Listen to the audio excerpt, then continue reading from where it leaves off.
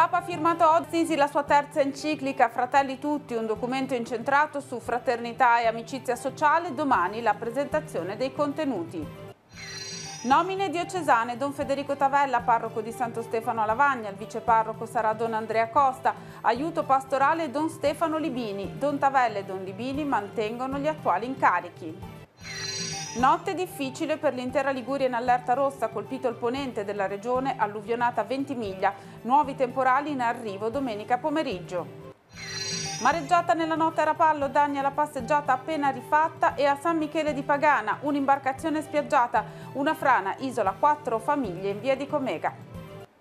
Un fornello sulla provinciale per Portofino, danni agli stabilimenti balneari, salve le attività commerciali, mattinata di lavoro a Santa Margherita Ligure per ripristinare il lungomare, test superato per la nuova diga del porto.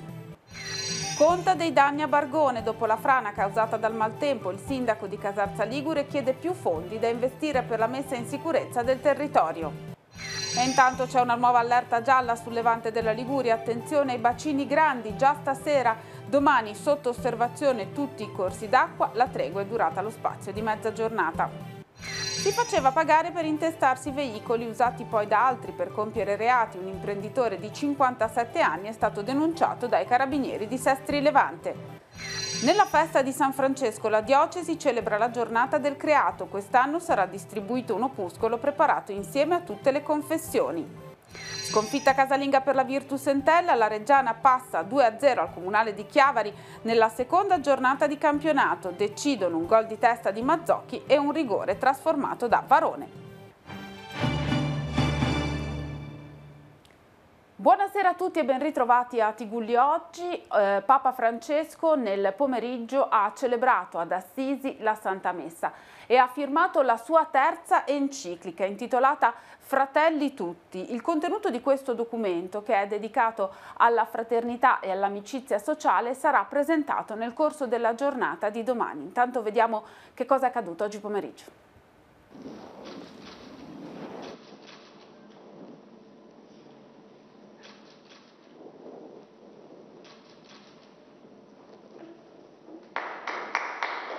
Papa ha firmato oggi la sua terza enciclica, Fratelli Tutti, lo ha fatto in un luogo che è più di un simbolo perché già da solo dice, dice tutto del pontificato di Jorge Mario Bergoglio e dei contenuti di questo documento, la cripta della Basilica Inferiore di Assisi che custodisce la tomba di San Francesco. Alla vigilia della festa del poverello di Assisi, Francesco ha celebrato la messa in questo piccolo luogo visitato ogni anno da migliaia di persone. Al termine ha firmato una enciclica dedicata alla fraternità e all'amicizia sociale, fronte aperto di una umanità ferita anche dalla pandemia. I contenuti di questo testo saranno presentati domani. Il titolo prende spunto dalle parole dello stesso San Francesco. Al termine della semplice cerimonia di firma, il Papa ha richiamato sull'altare tre componenti della prima sezione della Segreteria di Stato che hanno lavorato alla stesura delle varie traduzioni. Lo ha fatto come gesto di ringraziamento per sua stessa missione con un indirizzo di saluto al termine della celebrazione della messa. L'enciclica è stata portata sull'altare da Monsignor Paolo Braga Braida, che è l'incaricato delle traduzioni e dei discorsi del Papa nella prima sezione.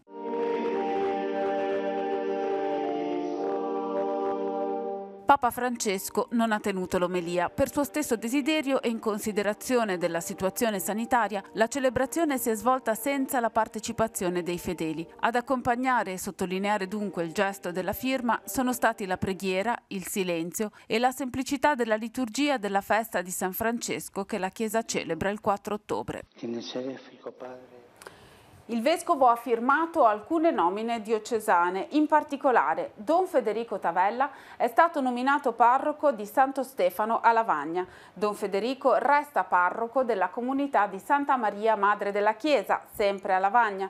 Il sacerdote novello Don Andrea Costa viene nominato viceparroco di Santo Stefano e di Maria Madre.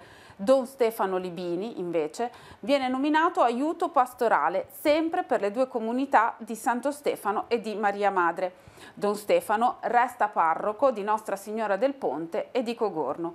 Don Matteo Benetti affiancherà come padre spirituale del seminario diocesano Don Federico Tavella, mantenendo gli attuali incarichi pastorali. L'ingresso di Don Federico nella parrocchia di Santo Stefano sarà dopo la festa dei Santi. Ora veniamo al maltempo, è stata una notte difficile per l'intera Liguria, in allerta rossa le piogge hanno colpito soprattutto il ponente della nostra regione. Il fiume Roia ha alluvionato la città di Ventimiglia, smottamenti e frane si sono registrati in tutto l'Imperiese. Oggi è il giorno della conta dei danni, anche per quanto riguarda il Tiguglio flagellato dal maltempo. Facciamo il punto nel servizio.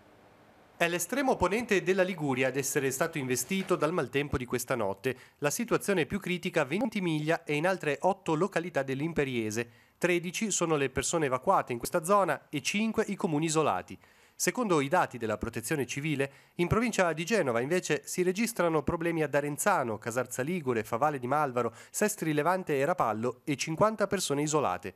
Nello Spezzino, infine, criticità a Maisana e Varese Ligure questi minuti proprio facendo il computo dei danni, dei danni strutturali. Fortunatamente parliamo di danni alle cose, non abbiamo feriti né dispersi al momento e questo direi che è la notizia più importante che potevamo dare nella mattinata, ma è chiaro che tutta la Valle Arroscia, la Varroia, anche un pezzettino di Valnervia direi che sono state duramente colpite, quindi dovremo fare una situazione puntuale di quanti danni sono stati causati da questa ondata straordinaria. Il maltempo concederà una tregua, occhi puntati però su domenica e su un nuovo passaggio perturbato. La macchina della protezione civile è già al lavoro.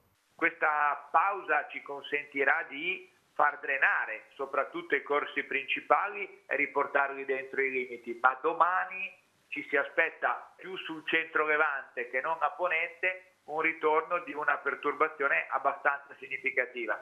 Ad oggi sembra meno impattante di quella che abbiamo appena trascorso, ma è chiaro che le prossime ore saranno determinanti per la valutazione. Ed è altrettanto chiaro che i quantitativi d'acqua già caduti faranno sì che anche quantitativi minori di pioggia che dovessero verificarsi sui territori dove è già piovuto possono provocare delle risposte più importanti e anche più repentine dei corsi d'acqua che sono già stati sollecitati.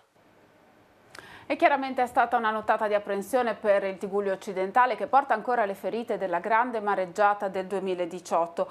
A Rapallo questa mattina si è lavorato per levare i detriti che sono stati portati dalle onde sulla passeggiata. Si contano diversi danni e un'imbarcazione spiaggiata. Toccata anche San Michele di Pagana mentre una frazione è rimasta isolata. Vediamo. Si contano i danni fortunatamente limitati, tanta spazzatura comunque sul lungomare, che bilancio abbiamo? Ma eh, innanzitutto il primo bilancio è che non abbiamo, non abbiamo, una persona ferita e non ci sono persone che si sono, che si sono fatte male. Secondo bilancio una riflessione politica di come sta cambiando il clima, di come sta cambiando. Terza cosa, frazione isolata, via di Comega, quattro famiglie isolate, siamo là dalle 4 di mattina per fare in modo di ripristinare la situazione. Danni ce ne sono, sembrano, possono sembrare pochi, tanto materiale, ma dal punto di vista economico ci sono. Abbiamo una scala distrutta per quanto riguarda il castello, vincolata, abbiamo la passeggiata che era appena stata ripristinata di nuovo fortemente danneggiata. I danni sono importanti, come potete vedere abbiamo delle barche che sono spiaggiate, abbiamo un lungomare da ripristinare in, eh, completo, abbiamo esercizi commerciali danneggiati a San Michele di Pagana, fortemente danneggiata a San Michele. Già dalle prime ore abbiamo iniziato col taglio dell'albero, adesso arriverà lo scavatore col martello per la demolizione di questo grosso masso quindi ehm, pensiamo entro fine mattinata o prime ore del pomeriggio di ridare l'accessibilità alla strada. Su Rapallo eh, devono, deve partire il dragaggio per mettere in sicurezza il golfo, manca ancora la protezione del, del porto, quanto questo può aver influito sui danni che sono stati subiti oggi? Sicura, sicuramente il porto, il porto, a Rapallo manca perché ripeto questo non è un porto per noi ma è una protezione, no? quindi sicuramente qualcosa ha influito, questo è, è inevitabile no? e penso sia sia sotto gli occhi di tutto. Questo eh, rimarca ancora l'importanza di questa, di questa pratica che noi dovremo portare nei prossimi giorni in tempi record, perché sappiamo quello che è successo, sappiamo che ci sono stati degli arresti, sappiamo che c'è stata la magistratura, sappiamo quello che è successo al porto Carlo Riva, quindi è un miracolo che nei prossimi dieci giorni riusciremo a partire con questa importante messa in sicurezza. E anche a Santa Margherita Ligure si è lavorato per tutto il giorno per ripristinare le conseguenze della mareggiata. La cittadina non conta danni alle attività commerciali del lungomare, sono stati invece toccati diversi stabilimenti balneari, mentre è stato istituito un senso unico alternato lungo la strada provinciale che collega con Portofino a causa di un fornello che si è aperto sotto la sede stradale proprio nelle vicinanze del tratto che era crollato nel 2018. Bene invece la nuova diga che ha retto la forza delle onde. Stamattina Santa Margherita si è svegliata con la consapevolezza che eh, il porto, che ha subito interventi significativi, eh, ha retto, ha retto bene, con la consapevolezza che la macchina di protezione civile ha funzionato, ha funzionato bene, contando per lo più dei disagi e fortunatamente pochi danni. Una nota di apprensione e di presidio operativo del territorio, seguita da una mattinata di lavoro per ripristinare le condizioni del lungomare cittadino e fare la conta dei danni subiti, fortunatamente non gravi. Santa Margherita Ligure si è svegliata sotto la pioggia, è un lungomare invaso da sabbia e detriti, ma il mare, che si è fatto insidioso a partire dalle 23, non ha toccato le attività commerciali della passeggiata. L'acqua non ha invaso gli esercizi commerciali, non ha arrecato danni significativi nella zona del centro città e di Ghiaia, eh, gli unici danni che eh, si sono verificati sono stati l'apertura di un fornello sulla SP 227 prima di Paraggi, la strada che era già stata colpita nella mareggiata 2018 ma in un punto in cui non si era allora intervenuti. Poi abbiamo avuto i danni alla passeggiata di Paraggi, lì sempre la zona di copertura in legno, ogni volta che c'è mare particolarmente intenso salta, è saltata anche questa volta e poi gli stabilimenti di Paraggi hanno subito dei danni significativi alle parti private. Nel corso di tutta la notte non si è fermato il lavoro dei volontari e dell'amministrazione per pulire e liberare i tombini e caditoie. Osservato speciale di queste ore è stato sicuramente il nuovo muraglione del porto, ricostruito e potenziato dopo la mareggiata del 2018 che ha retto bene alle onde. Da un sopralluogo effettuato pochi minuti fa non si è mossa una pietra sulla diga né sulla parte nuova che ha perfettamente funzionato né sulla parte vecchia su cui dobbiamo intervenire nelle prossime settimane ma che era stata risistemata riposizionando delle pietre e quelle esistenti e devo dire che anche lì non c'è stato nessun tipo di problema. Ringrazio tutto il personale intervenuto ieri sera, forze dell'ordine, volontari di protezione civile, Capitaneria di Porto, Carabinieri, i nostri ormeggiatori e, eh, che sono stati sul porto tutta la notte a dare supporto agli equipaggi che erano a bordo. A Santa Margherita Ligure, come avete visto, erano operativi a presidiare il territorio i volontari del Radio Club Levante. È stata una notte impegnativa in realtà anche nell'entroterra. Verzi, Coreglia, De Zerega sono alcune delle località dell'entroterra in cui sono stati impegnati i volontari della sezione di Mocconesi. Interventi per taglio di alberi, rimozione di detriti che si sono moltiplicati nel corso delle ore a causa del forte vento. Notte impegnativa, qua siamo sulla costa, il mare a Santa Margherita Ligure ha portato detriti sulla passeggiata, ma anche nell'entroterra non è stata una passeggiata. Come è andata? Eh, la nostra sezione di Moconesi eh, ha dovuto lavorare parecchio perché eravamo in contatto con, con, con, i ragazzi e segnalazioni di alberi e di frane arrivavano ogni, a ogni piè sospinto. E si sono veramente moltiplicati gli sforzi dei nostri ragazzi, sono decine e decine gli alberi che non hanno tagliato, hanno dovuto appunto riaprire anche la viabilità in determinati tratti, adesso per fare un nome su tutti mi viene in mente Verzi dove hanno lavorato parecchio anche su tronchi importanti e poi in varie frazioni del territorio, mi viene in mente anche Coreglia, la parte di De Zerega, ecco, quindi diciamo che i ragazzi tutta la notte non si sono risparmiati. Eh, ora la situazione si è tranquillizzata perché è calato il vento e quindi poi eh, anche i comuni hanno messo in atto con transende, segnaletica, quindi diciamo la situazione ora è sotto controllo, sperando che si fermi qua. L'attenzione comunque resta alta perché anche nelle prossime ore è previsto un ulteriore passaggio, forse meno acceso, meno intenso come quello attuale, ma gli occhi e l'attenzione sul territorio sono sempre accesi. Sì, eh, diciamo che sono tempi duri per noi volontari, è un periodo questo, anche agosto devo dire che abbiamo avuto delle allerte storiche perché normalmente in agosto, ora settembre e ottobre ci stanno, stanno impegnando parecchio. E combinazione anche capita nei fine settimana, quindi da un lato è, è, meglio perché abbiamo più disponibilità, più risorse anche nei volontari, da un lato dispiace perché le attività che lavorano ancora, siamo ancora in, diciamo, non, non in estate ma ancora una buona stagione purtroppo ne risentiranno. E queste allerte si susseguono con una frequenza pesante devo dire, per noi che siamo volontari, quindi lo facciamo nei tempi tempo libero, però è una cosa in cui crediamo, quindi lo facciamo sempre volentieri. A Moconesi una famiglia di tre persone è stata evacuata a causa della caduta di un albero che si è appoggiato sul tetto di una casa dragonaria. Nessun ferito, solo qualche danno al tetto della palazzina. La pianta si è staccata dal busto ieri notte a causa del forte vento e si è appoggiata sull'edificio. L'albero, come detto, non ha fatto grossi danni. La persona che abita al piano più alto dell'edificio non era presente nell'abitazione. La famiglia che abita al piano terra è stata fatta evacuare invece in via precauzionale. Sul posto i vigili del fuoco di Chiavari e il personale del comune di Moconesi che dopo le opportune valutazioni hanno affidato l'incarico di rimozione a ditte specializzate. L'albero sarà rimosso lunedì, considerato il maltempo che domani, come detto, interesserà il territorio. Restiamo nell'entroterra, a Favale di Malvaro, una frana è caduta sulla strada che porta alla frazione di Monteghirfo. Cannabis, Sollo e Rocca sono rimaste isolate. Dal versante, già oggetto di un movimento franoso negli anni scorsi, si sono staccati alcuni massi che hanno invaso la carreggiata.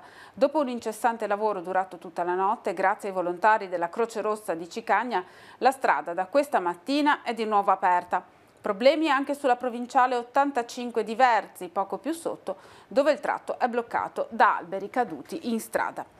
E intanto proseguono anche i lavori per mettere in sicurezza la frana che si è staccata nella frazione di Bargone a Casarza Ligure. Dalla serata di venerdì lungo la strada si procede a senso unico alternato, anche se lo smottamento franoso è ancora oggetto dell'attenzione dei tecnici. Il sindaco di Casarza Ligure intanto chiede più fondi da investire sul territorio per renderlo ovviamente meno fragile di fronte alle intemperie. Il giorno dopo Casarza Ligure conta i danni. È un sabato dedicato alla pulizia dei detriti e alla verifica dei versanti franati. Il fronte più caldo è quello di Bargone, dove le famiglie sono rimaste isolate per molte ore. Sopralluogo del sindaco anche lungo la strada e sulle frazioni, come Costa di Bargone e nell'area del Bracco un'indagine necessaria per compilare le schede di richiesta danni da inviare a Regione e Governo. Servono i fondi, ora più che mai, tuona il sindaco Stagnaro, che ha voglia di investire in fretta sulla messa in sicurezza delle aree più fragili. Nel 2019 la conta dei danni arrivava ad oltre 12 milioni di euro. Alla luce di quanto accaduto nelle ultime ore, il bilancio va aggiornato. Sicuramente mi tengo basso altri milioni di euro perché eh, l'anno scorso abbiamo avuto danni anche sul torrente Petronio, ma in questa alluvione qui abbiamo, siamo interessati anche da altre frane, su altre frazioni, via Barletti, eh, a Cardini, eh, nella zona di Massasco, quindi comunque è un territorio che era già fragile di suo e ora sta andando ad aggravare, quindi la conta dei danni sarà sicuramente maggiore. A proposito di messa in sicurezza, un'altra situazione da risolvere al più presto è quella del rio Cacarello che attraversa Casarza Ligure. Ci sono i fondi per il progetto esecutivo, spiega Stagnaro, ora chiederemo quelli per aprire il cantiere. I progetti ci sono, ora occorre che, che diciamo, gli enti sovraordinati ce li finanzino. Penso sia un problema per tutti i sindaci, sentivo anche i miei colleghi, eh, è, un, è un'emergenza quella della, del rischio idrogeologico e della messa in sicurezza del territorio e ora ci dovessero arrivare questi benedetti, dico io, fondi dall'Europa, eh, dobbiamo investirli soprattutto lì perché altrimenti il nostro territorio frana in maniera disastrosa e disarmante. E lo avete sentito, è atteso ancora il maltempo per la giornata di domani. Una nuova allerta gialla è stata diramata per quanto riguarda la zona di Genova, del Levante e per la Val d'Aveto. In particolare per quanto riguarda i bacini grandi l'allerta scatta già alle 20 di sabato, per quanto riguarda i bacini piccoli e medi l'allerta invece parte alle 10 di domani mattina. Vediamo. Si è conclusa una fase frontale di una perturbazione che ha eh, portato sino all'allerta di colore rosso per quanto riguarda la nostra regione, la Liguria, su grande parte della Liguria. Ora che cosa ci attende per eh, la domenica che è ormai alle porte? Ma vivremo in realtà, abbiamo vissuto in queste ore una breve pausa, ma eh, già dalle ore serali di oggi sabato e in parte della notte sono attese nuove precipitazioni, in particolare a Levante, eh, tanto che proprio stante il livello di stress idrogeologico dei eh, bacini più grandi, dalle 20 scatta l'allerta gialla appunto sui bacini grandi della zona C, della zona di Levante. Poi eh, domani arriverà un altro impulso instabile che interesserà in particolare il centro levante della nostra regione e per questo dalle 10 di domani domenica saranno in allerta gialla i bacini, tutti i bacini della zona B, tutti i bacini della zona C, quindi entreranno anche quelli piccoli e medi i bacini piccoli e medi della zona E. Fino alla mezzanotte di domani domenica, domattina ci sarà la consueta rivalutazione della situazione anche perché fenomeni, soprattutto levante, potrebbero insistere anche durante le ore notturne tra domenica e lunedì. Tipo di fenomeni dobbiamo aspettarci? Oggi in serata dovremmo avere dei rovesci, potrebbe esserci anche eh, qualche, qualche, temporale. C'è componente sia eh, temporalesca che di piogge più diffuse nel passaggio invece, diciamo così, dalla tarda mattinata di domani domenica, è ragione per cui ecco perché l'allerta riguarda eh, sia i bacini piccoli e medi che i bacini più grandi. Per quanto riguarda il vento e il mare, che sono quelli che in queste ore hanno dato anche maggiori preoccupazioni proprio nel territorio del Levante e del Tigullo, qual è eh, l'orientamento, l'andamento delle prossime ore? Avremo ancora eh, mareggiate, mareggiate intense per la eh, giornata di oggi sabato e anche nella prima parte di domani, domenica, mareggiate intense a Levante, poi il motondoso andrà un po' diminuendo, ma saremo sempre eh, su un livello di eh, agitato o molto agitato in alcune eh, zone della nostra della fascia costiera. Per quanto riguarda i venti, continueranno a essere eh, di eh, forti o anche di burrasca dai quadranti meridionali, potranno esserci momenti di leggera attenuazione eh, però diciamo saranno comunque ancora da monitorare da seguire. A Chiavari proseguono i lavori per la pulizia della rete delle acque meteoriche. C'è qualche criticità per quanto riguarda il canale di Corso De Michiel, come ha spiegato il consigliere delegato al ciclo delle acque Paolo Garibaldi, perché è stato trovato un deposito di argilla che ha rallentato i lavori. Attualmente sono stati puliti 13 metri dei 70 totali. Successivamente gli interventi interesseranno il, via, eh, il canale scusate, di via Jacopo Rocca e quello di Corso Brizzolara. La prossima settimana a Sestri Levante inizieranno alcuni interventi strutturali per la rete di raccolta delle acque piovane per migliorare il deflusso eh, in caso di abbondanti piogge. I lavori che erano stati originariamente programmati per la primavera del 2020 sono stati posticipati a causa del lockdown. Un primo intervento riguarda lo scolmatore alla foce della chiusa. Sarà realizzato un canale di scarico ausiliario lungo la spiaggia perpendicolare alla costa per convogliare in mare le acque in arrivo da monte. Un altro invece prevede la realizzazione di una rete di raccolta delle acque meteoriche stradali lungo un tratto di Viale Mazzini. L'investimento complessivo è di 140.000 euro. Nelle prossime settimane poi saranno portati avanti tre ulteriori interventi che coinvolgono il Rio Ravino, via Monsignor Vattuone e la zona di Pestella. Ora siamo alla cronaca, i carabinieri di Sestri Levante hanno denunciato un imprenditore residente nella provincia di Genova che si intestava delle automobili, delle moto, dei furgoni per poi consegnarli, previo pagamento, ad altre persone che li usavano per commettere reati ha usato la copertura di due società di compravendita di auto per intestarsi 276 veicoli che, dietro compenso, dava in uso poi ad altre persone, principalmente pregiudicati, che li utilizzavano per compiere reati. Per questo un imprenditore di 57 anni, dopo una serie di indagini, è stato denunciato per i reati di truffa e falsità ideologica dai carabinieri della compagnia Gli Sestri Levante. Il meccanismo utilizzato dall'uomo sfruttava la possibilità concessa dalla legge Dini ai commercianti di veicoli, ossia trascrivere un atto di vendita a loro favore senza costi.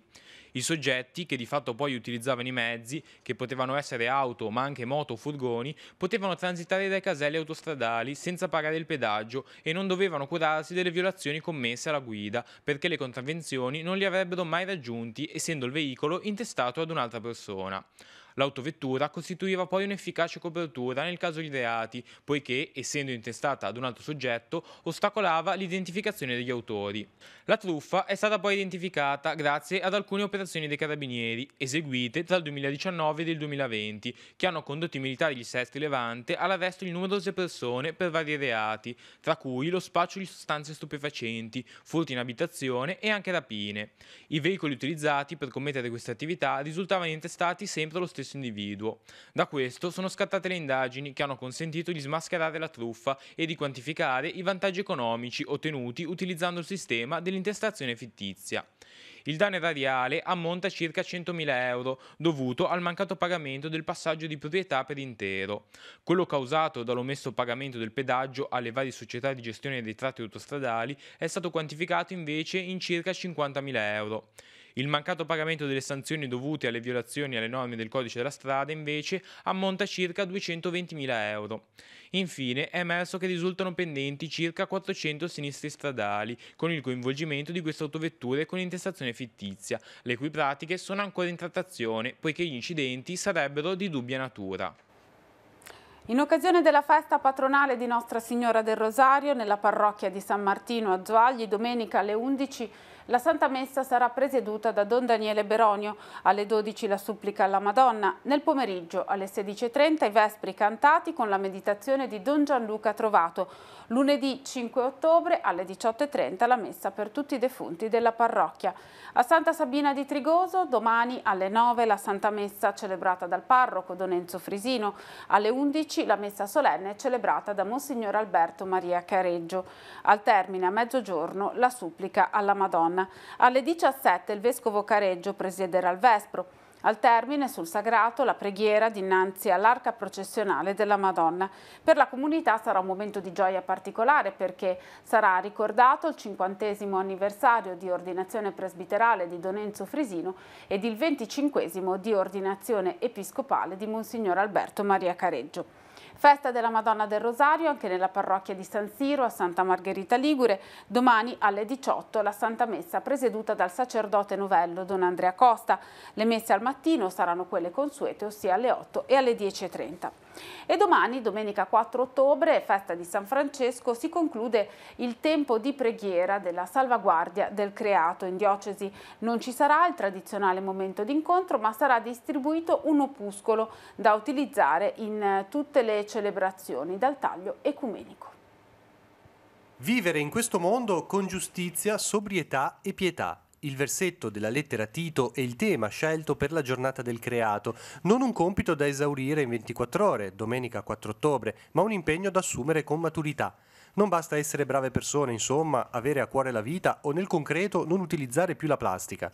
Occorre una cura collettiva a partire dalla politica per far sì che si possa arrivare ad un'economia compatibile con la salvaguardia del creato, senza per questo dover tornare al Medioevo. Noi dobbiamo cercare di mettere insieme le esigenze della, di una società sviluppata e che dunque deve eh, consumare e deve produrre in modo efficiente per tutte le persone e dall'altra il rispetto della creazione. E dunque che domani ci sia ancora una creazione eh, e che dunque le prossime generazioni abbiano la possibilità di accedere a tutte le risorse necessarie per la vita. Quest'anno, causa Covid, non ci sarà il consueto momento d'incontro ecumenico in diocesi. È stato però preparato un pieghevole che domani potrà essere utilizzato in tutte le celebrazioni. Distribuendolo un po' ai fedeli, ai cristiani presenti sia nelle nostre messe cattoliche in tutta la diocesi, ma anche nei momenti del culto domenicale delle due comunità evangeliche, quella di eh, Chiaveri e quella di Rapallo, e poi anche nelle divine liturgie che i nostri fratelli ortodossi celebrano nelle diverse comunità a Genova. È un sussidio molto semplice, con alcune riflessioni a più voci, con alcune intenzioni di preghiera che vorremmo appunto usare durante le nostre celebrazioni e anche la proposta di un paio di canti che laddove è possibile appunto sarà bello eh, cantare per sentirci davvero in comunione. Siamo allo sport, il calcio, sconfitta casalinga per la Virtus Entella, la Reggiana passa per 2-0 al Comunale di Chiavari nella seconda giornata del campionato di calcio di Serie B. Decidono un gol di testa di Mazzocchi sul finire del primo tempo e un rigore trasformato da Varone all'88 minuto. Bianco-celesti sfortunati con il nuovo acquisto Morosini che prende tre legni nel corso della partita. Prestazione generosa sul piano dell'impegno e prolifica per le occasioni create. I chiavaresi baresi però hanno pagato alcune distrazioni difensive. Una settimana di pausa adesso per la Serie B che torna tra due settimane. L'Entella sarà di scena contro la Regina il 17 ottobre alle 15 di nuovo al Comunale di Chiavari. E a causa del maltempo è stato rinviato al 28 ottobre l'incontro Lavagnese-Casale in Serie D. La partita avrebbe dovuto disputarsi nel pomeriggio di quest'oggi al Broccardi di Santa Margherita Ligure. I bianconeri vedono slittare dunque ulteriormente il loro esordio in campionato. Domenica scorsa era stata infatti rinviata la partita Sanremese-Lavagnese a causa del Covid. Il debutto stagionale in Serie D sarà mercoledì 7 ottobre in trasferta contro l'Arconatese. Ora vediamo che cosa c'è in programma per la giornata di domani con la nostra agenda.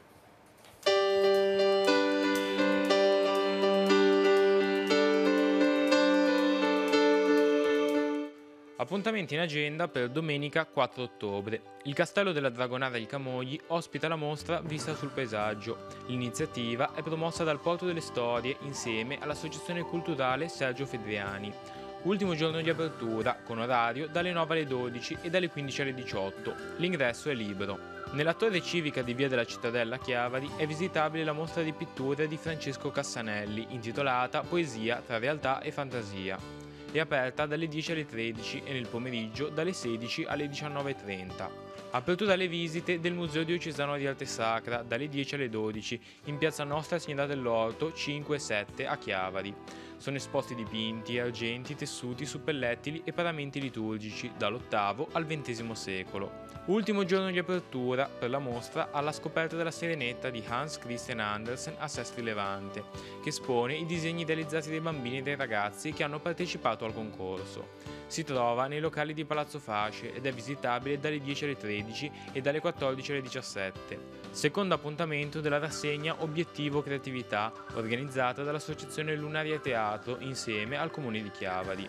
Alle 17.30 all'Auditorium San Francesco va in scena lo spettacolo Le donne di Spoon River. Orietta Notari e Alice Bignone propongono letture dall'antologia di Spoon River di Edgar Lee Master e canzoni di Fabrizio De André, tratte dall'album ispirato al libro.